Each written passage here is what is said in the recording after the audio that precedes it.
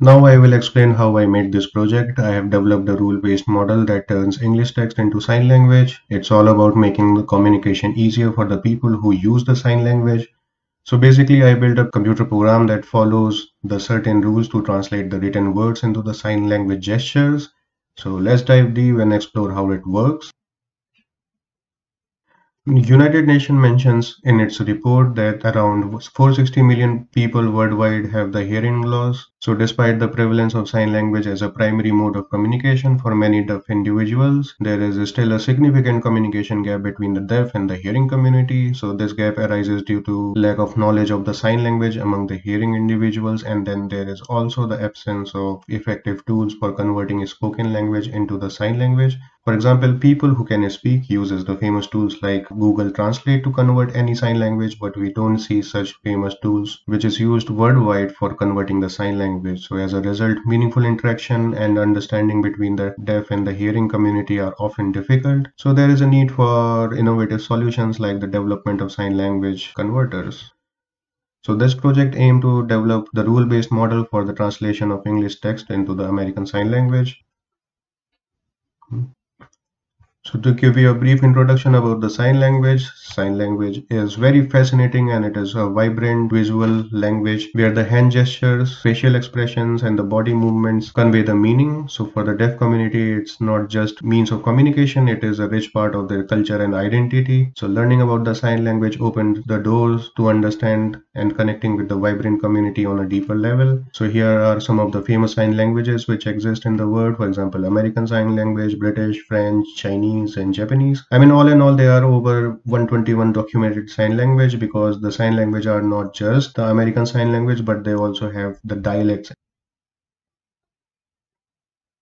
So sign language have their own syntax because we can produce sounds. So we have the words for every day-to-day -day conditions. I mean, we have more than 100,000 words in any language, but in sign language, they have the limitations for producing different types of gestures.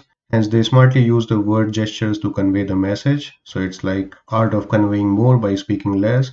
In doing so, they eliminate the articles and the prepositions. They also fit the vocabulary according to their sign language.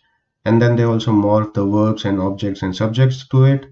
For example, here you can see Ali goes to the school becomes in sign language Ali school go. You can see that goes becomes go and then this verb also was sent to last and the object came first. Here is how the model works. You type in the text and then behind the scenes the text gets converted into what we call it the glosses which is the intermediate representation of the text. Basically it's like breaking down the words into the sign language terms and each of these glosses matches up with a video showing the sign in action which are synced them perfectly with the text which is given. So for this purpose I use the natural language processing Natural language processing is an interdisciplinary subfield of the computer science and the linguistics. So basically it provides the ability to the computers to support and manipulate the human languages. From here you can see that the NLP is the subset of artificial intelligence and some of its principles also deploy the use of the machine learning and the deep learning concepts. With the help of NLP, you can do various tasks, for example, sentiment analysis, entity extraction, or the raw data language processing. For this project, I use the raw language processing abilities of the NLP. So this is the NLP pipeline which I used for the making of this project. The first is the input text where you can input the text. Other is the tokenization of the words what is the words tokenization? Tokenization is a process of breaking up a given text into the units called the tokens. And tokenization is like breaking down a sentence into smaller pieces. Yeah, so imagine if you have a sentence and you want to understand each word separately. So tokenization just does that and it splits the text into the individual words or the smaller parts like the punctuation marks or the full stop. So this process helps the computers to understand and analyze the language more easily. So making the task like language learning, language processing and analysis much more manageable. After that the stop words were removed. So the stop words removal is a crucial text in the processing. These are words like the, is, on, a, which appears frequently in the language, but they don't carry much meaning on their own. So by removing these stop words, we can focus on more important words that convey the core message of the text. So in this project, I took it a step further by creating a specific stop word list tailored to my needs. So this in list included common stop words as well as domain specific words that might not be relevant for the analysis. So by customizing the stop word list, it helped me for text processing pipeline to better suit the goals of the project and making it more accurate. So after the stop words removal, the words were lemmatized. So what is lemmatization? Lemmatization is a linguistic process that reduces words to their base or root form known as lemmas. And for example, the word achieving or achieve would be reduced to its lemma achieve. So this technique helps in standardizing words so that the variation of the same word are treated as one entity, which makes the analysis more efficient and accurate. Because this project was analyzing text data, so lemmatization helped in consolidating the words with the same meaning into the single representation which gave insights into the underlying content and also helped in decreasing the vocabulary. So after the words were lemmatized, then the name entity recognition was done what is name entity why it is done because it enhances the efficiency and accuracy of the text processing task. So it is a technique used to identify and categorize the name entities within a text such as the name of the people the organization and the location and even the dates. So it helped in keeping the information and displaying it correctly in the sign language videos. After that the synonyms was checked how the synonyms was checked with the help of the vectorization. Now the vectorization in NLP involves transforming words or text documents into the numerical vectors. So it helps in computational analysis of the text because the computers only understand the numbers and not the text. So by representing text as vectors, model can perform the mathematical operations for tasks like similarity comparison or the classification. So this is very famous example. So one hot encoding is a simple term term is like assigning a unique ID to each word in a vocabulary. So if you have the sentence, each word get its own spot in the big list. So marked with 1 if it is present and then marked with 0 if it is not present. So this technique helps machine understand words in a numerical way. So making it easier for them to process an analysis of text. For example, if you see the example of cat from this sentence, all other words were given 0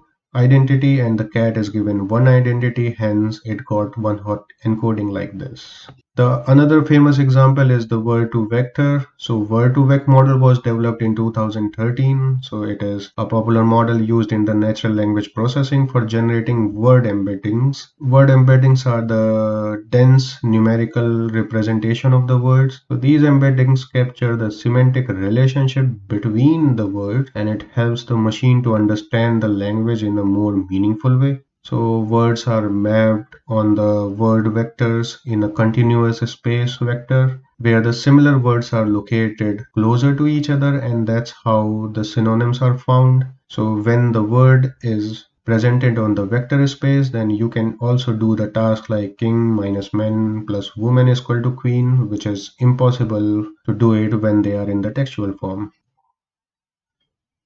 how I use the vectorization for finding the synonyms. So what I did was I took the 2000 American Sign Language words and matched them with their sign language videos. So I used a dataset called the WLASL, World Level American Language Dataset, which has the English words with their American Sign Language videos. Now to find the synonyms, I changed the English words to their synonyms and checked if they matched any of the 2000 ASL words. So if they did, I used the ASL sign instead of the original English word and word which is not present in the sign language dictionary.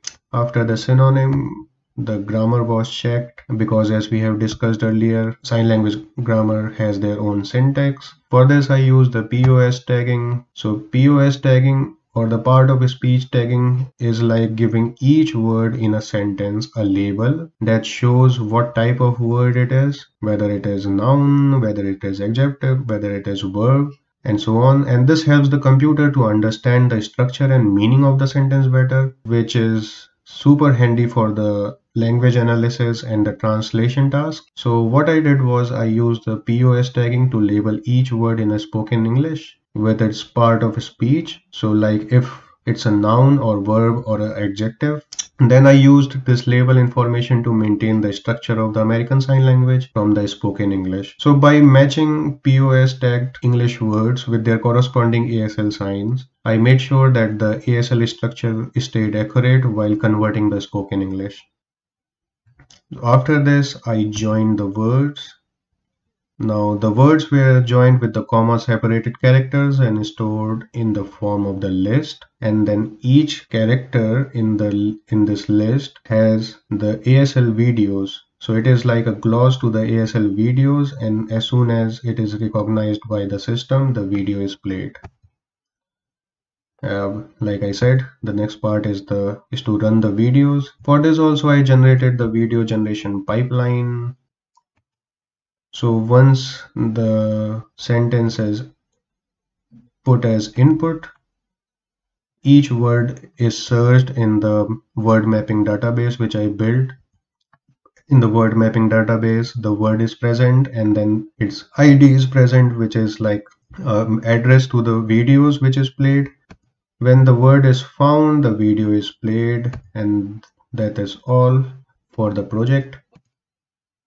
The technical skills required for making this project were uh, the NLP and machine learning concepts. You must know the NLP and machine learning concepts with their libraries like NLTK, spaCy and pandas. And you also know the basic programming skills of python language and then some essentials of the computer vision. For example i was running the video with the help of the opencv.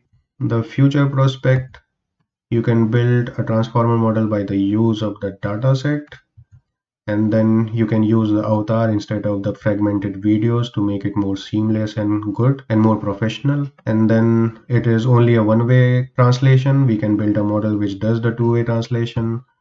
And then you can develop a user-friendly UI so that it is accessible for all. And then for this I was the only one who was evaluating but the real evaluation takes place with the real users so we can make the users take their feedback and depending upon their feedback we can also improve our model so thank you and and if you like it please share and subscribe.